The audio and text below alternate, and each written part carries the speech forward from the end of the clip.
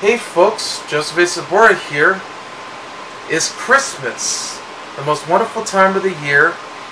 Gathering around with your friends and family, sharing all the gifts that you love and cherish, the moments, having a wonderful Christmas dinner, you know, like beef, turkey, stuffing, with potato salad, rice, mashed potatoes, with gravy inside, or regular salad.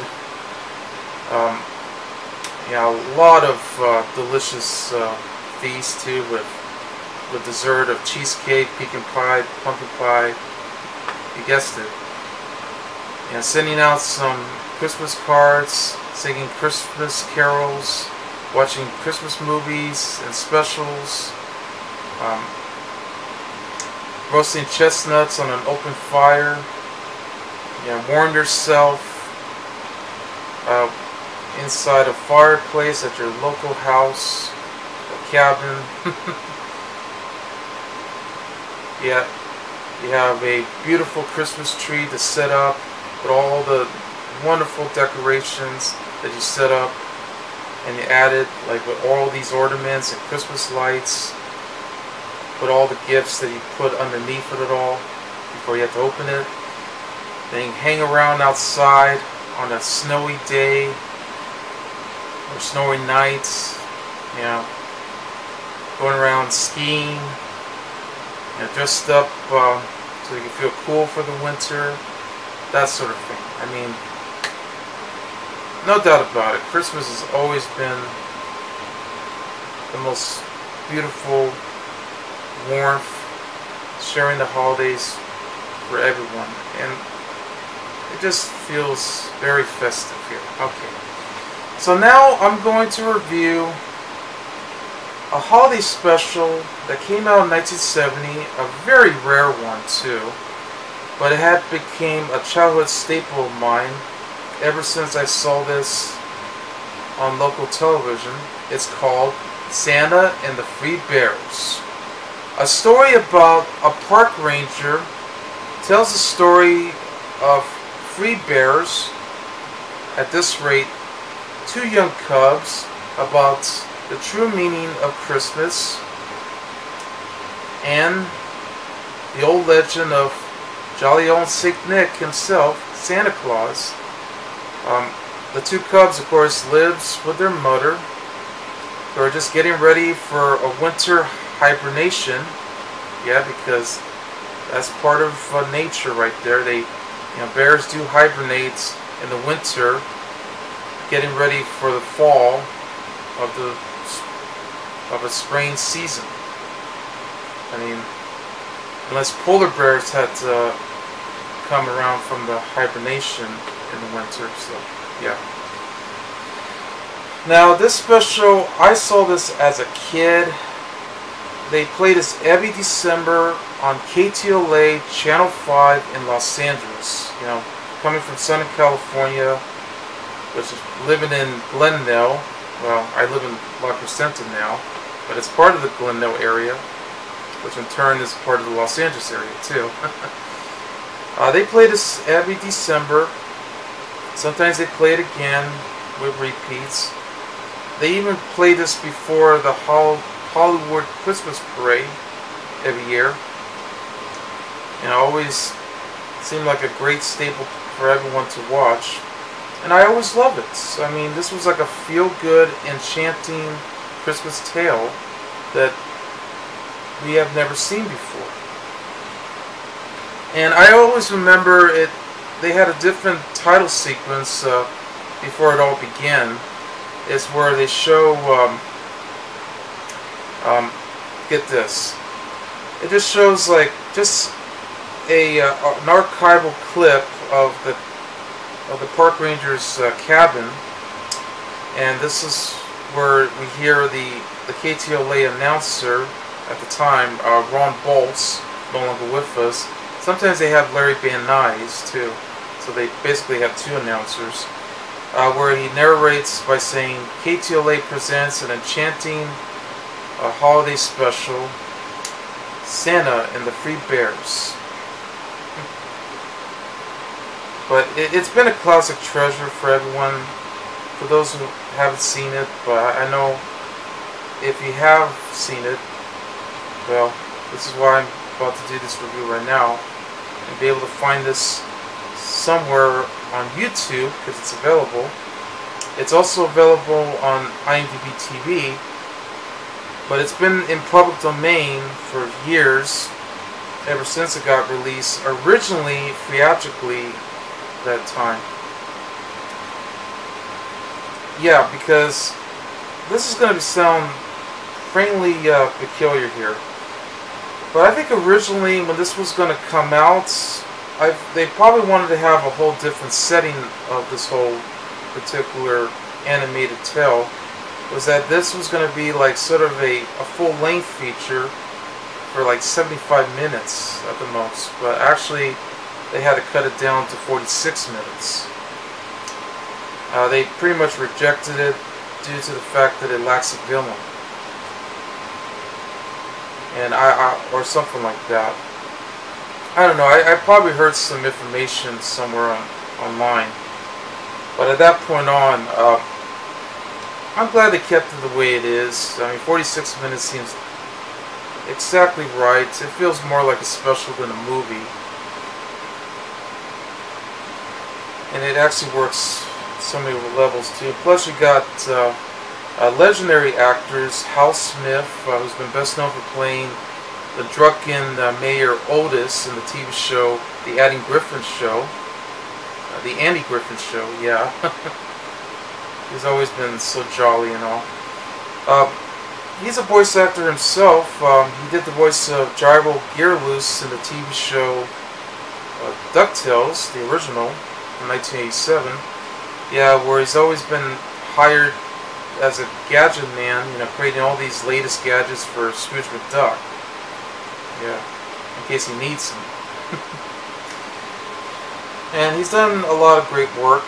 Um, also to join in is Jean Vander Pyl, best known for doing the voice of Wilma Flintstone on the Flintstones, as well as Rosie the Robot on the Jetsons and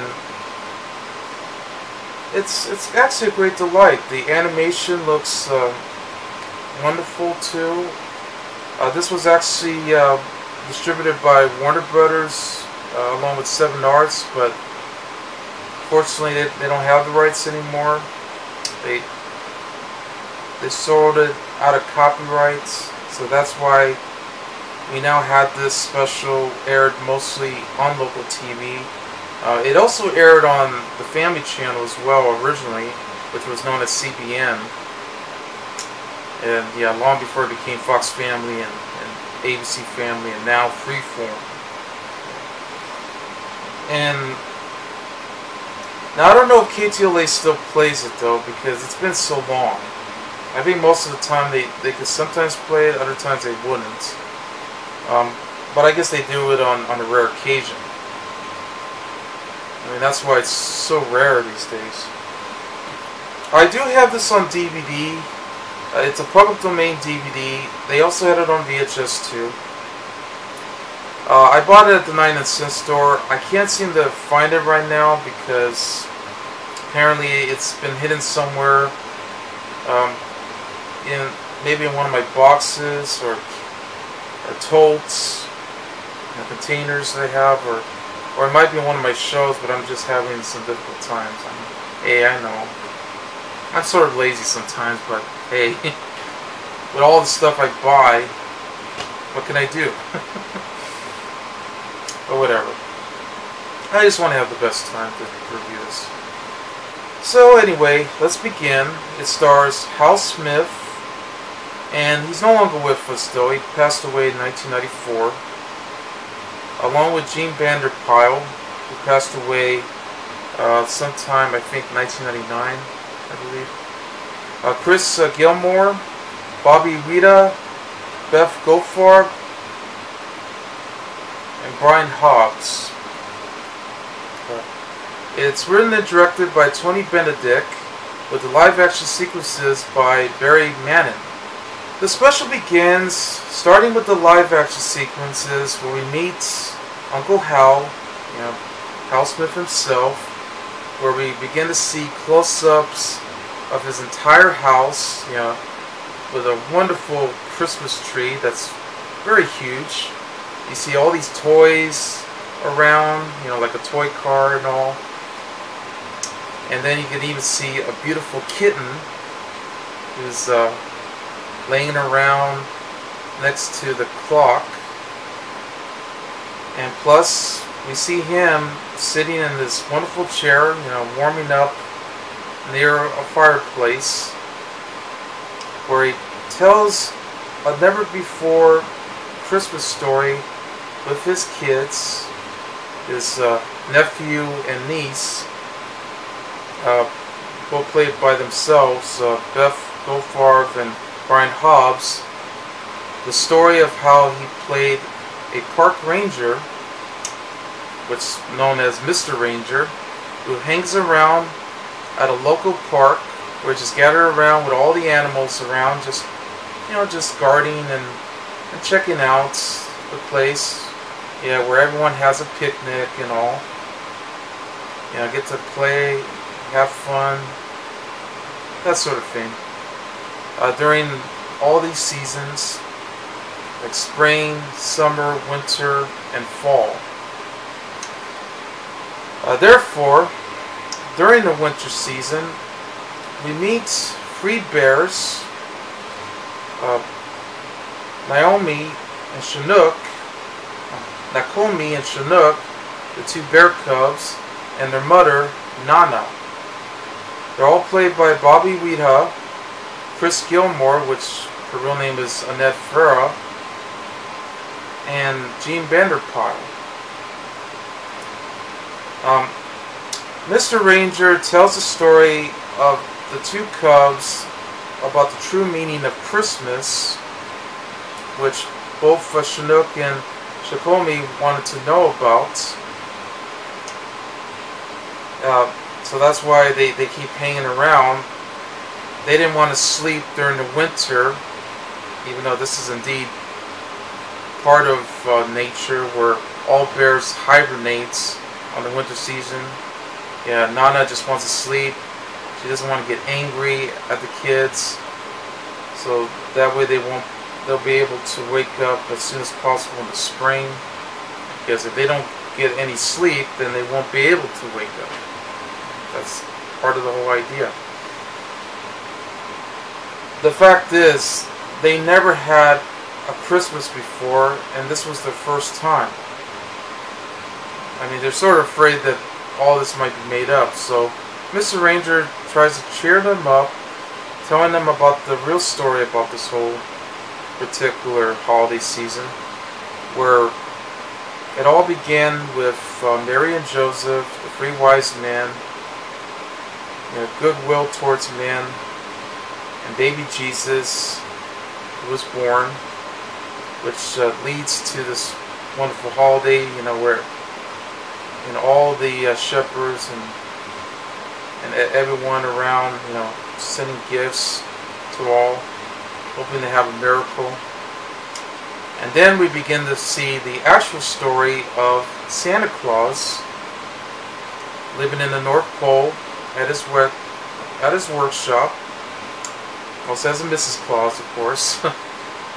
but mostly it's Santa who delivers all the gifts that his elves had worked on, you know, building all the toys, so that way they'll be able to send all the gifts to all the little children out there around the world who believes him. So yes, Santa goes around on his sleigh, joined by his reindeers as they headed off, you know, delivering all the gifts to everyone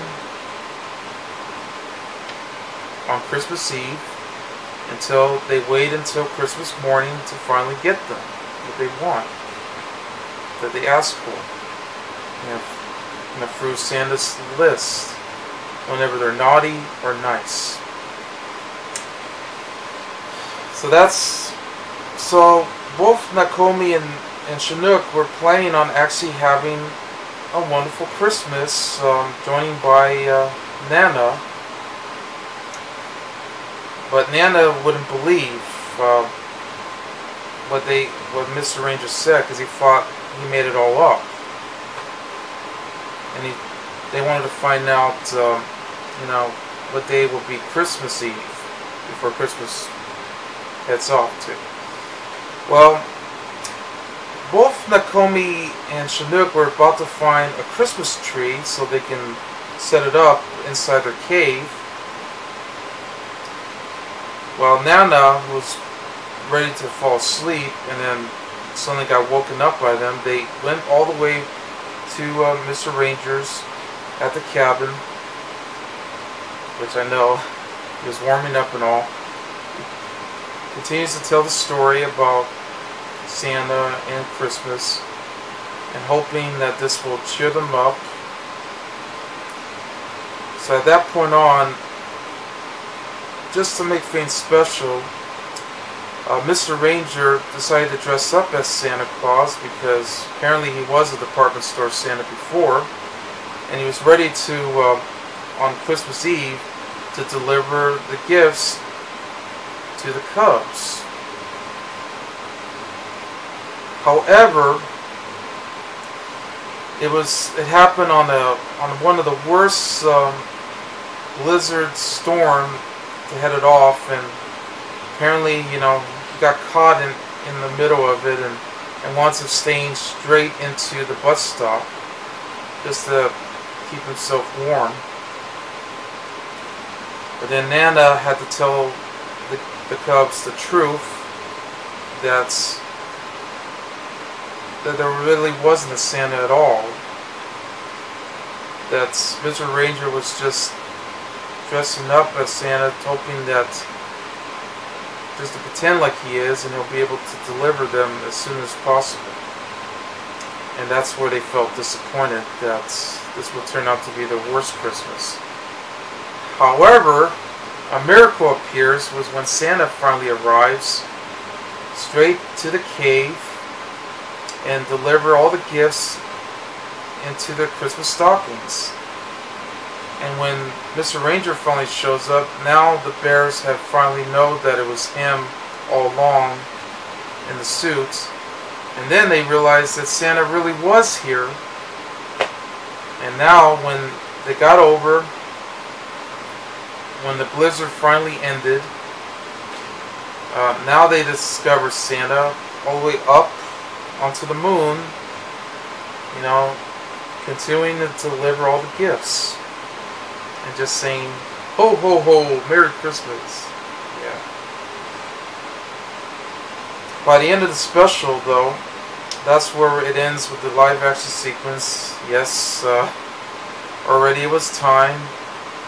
You know, the kids opened their presents. Uh, the kitten was asleep. And of course. you see all the toys, the close-ups of the tree and, and all. Just very wonderful. It's indeed a, an enchanting Christmas tale. Um, the animation just looks um, very superb uh, for the 70s. I mean, this was sort of like late 60s, early 70s uh, type of animation. Uh, it was done by uh, Jane uh, Takamoto, uh, joined by the rest of the, the animation departments, and know how they, they put a lot of work into it. And um, the effects is, and they had a lot of uh, nice um, close. It has a lot of nice shots too of the location of of the, uh, the Yellowstone Park too. You see the, this wonderful cavern, know, all the trees and the grassy fields and everything around. You see all the animals everywhere. Just what a local park should be.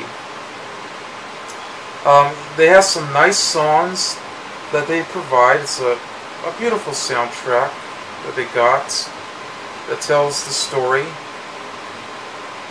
of, of how this holiday season had to be and and I mean there's even some some nice animated sequences here like there's even uh, a shot where when uh, Mr. Ranger was falling asleep. Suddenly he rubbed his eyes, he woke up, and he noticed that uh, the flames were actually singing too on on the fireplace, and, and then you see uh, another scene where both the, the cubs and their mother uh, getting around you know, during the night, you know, just falling asleep and all.